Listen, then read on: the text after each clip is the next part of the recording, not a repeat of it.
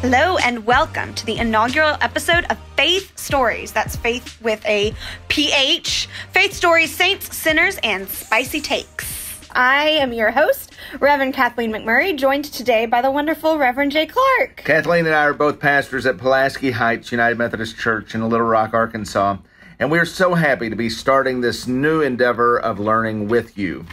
PHaith Stories is a podcast where we are going to take a look at stories and people from history, the good, the bad, and the ugly, and draw out lessons for life and faith. Um, we hope that we learn some new things about history, that we have some fun and some laughs, and that we discover deeper meaning for our faith uh, through this journey. And we hope that you discover all those things with us. So, this month, for our inaugural episode, dun, dun, dun, we'll be talking generally about history. What is history? Why we care about it, why it's important, and why on earth we as a church would want to do a podcast about history. So, Jay, tell me, what do you think folks think of when they think history?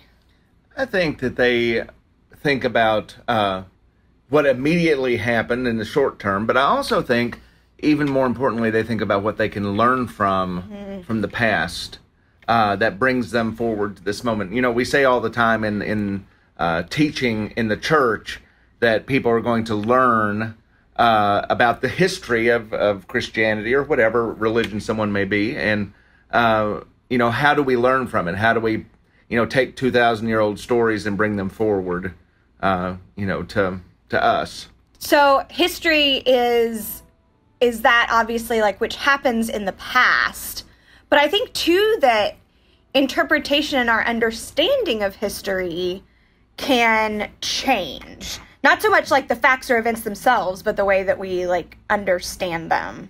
What we think of as as fact may change, um, but uh, you know, take smoking for instance.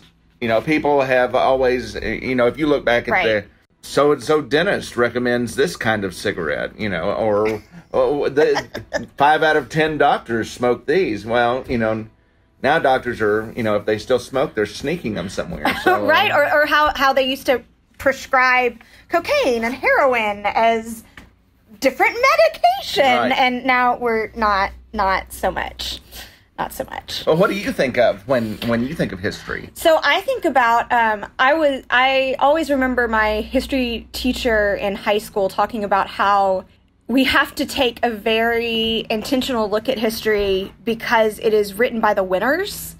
Um, so history is often written and communicated and uh, focused on those in power um, those who, yeah, who are the winning side of things. If you lose, you don't often, you know, go down regally in history books. But until recently, most of history, particularly in this country, didn't include women or people of color.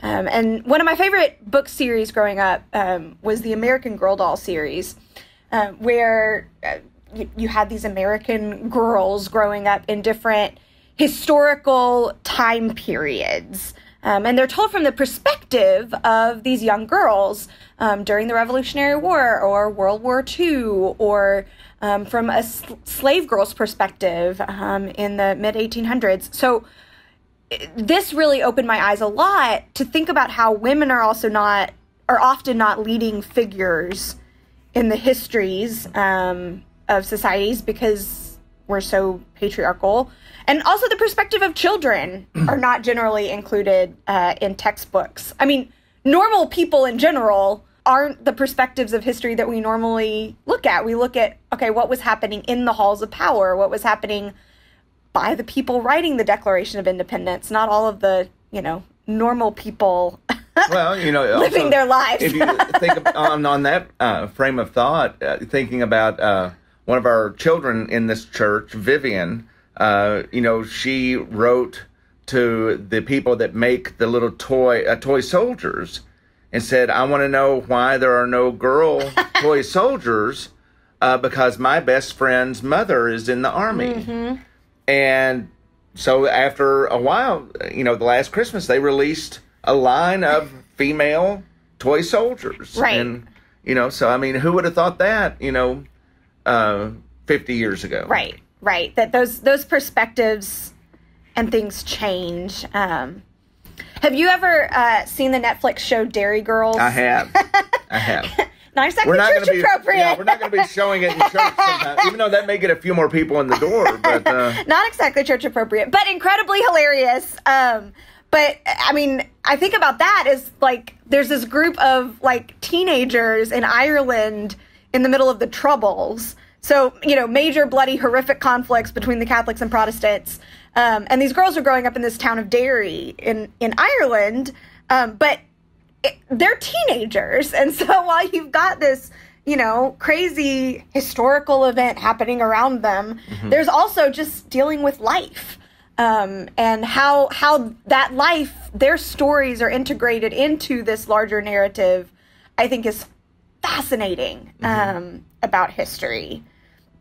Um, it's fascinating looking at like historical events or people or moments to think about like the everyday or the normal right. in the midst of it, um, where our stories intersect with the larger story of the world, the larger historical narrative. and we'll we'll see that, and we're we're starting to see it now, twenty years after 9-11. right. Uh, you know the stories of uh, of people. Uh, I mean, I guess with every story uh, in history, there's always the people whose stories we don't hear, Mm, yeah. and we we've seen that with like uh, the the Japanese camps Yes. uh, from World War II, one which was in Arkansas. Uh, we see that with um, you know the, the the story of going as far back as the slave trade. We hear you know slave stories. Uh, I mean, we're seeing it now uh, in in Confederate statues that are being you know those stories. Uh, You know, and I kept thinking about you know what are everyone else's stories? Uh, there's a big thing with uh, this and we're not getting paid by ancestry.com to to mention their name but i mean there are a lot of people you know finding your roots and there are a lot of people that are hearing stories from their past for the first time. And and that's that's what we are hoping to talk about on this podcast i think i think that's that's that's why we care about history right? Is because of its intersection with our stories um, that story piece of it. Um, and and i think that that's really really great. I i heard this uh, really great quote this morning um, from the book the home we build together by rabbi uh, jonathan sacks um, and in it he talked about the difference between history and memory that history he said is someone else's story events that happen somewhere else sometime else you know in, in a different time. Me- but memory is my story um, and history answers the question of what happened and memory answers the question who am i? Um, but i think you know what we're hoping to do um, in this podcast is to look at where those things intersect right? Like where the the history um, those things of the past particularly stories that we don't often hear.